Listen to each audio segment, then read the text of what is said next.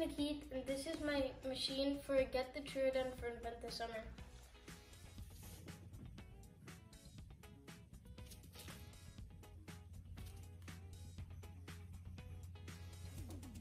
Nikki, what are the plans? Okay, well that's easy.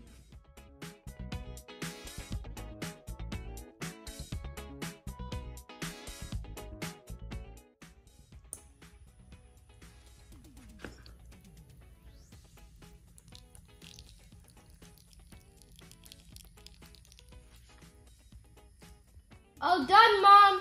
Good job, Nikki. This is how it works. So I put a soil moisture sensor here. So if the soil is too dry, it sends a signal to this Arduino Uno. And the Arduino Uno sends a mess, uh, signal to this relay relay module. And the relay module stops the flow of electricity unless it's needed.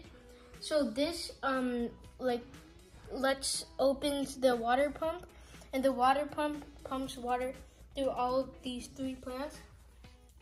And when this thinks that the moisturize is enough, it tells everything to stop. And that's it. This is the code.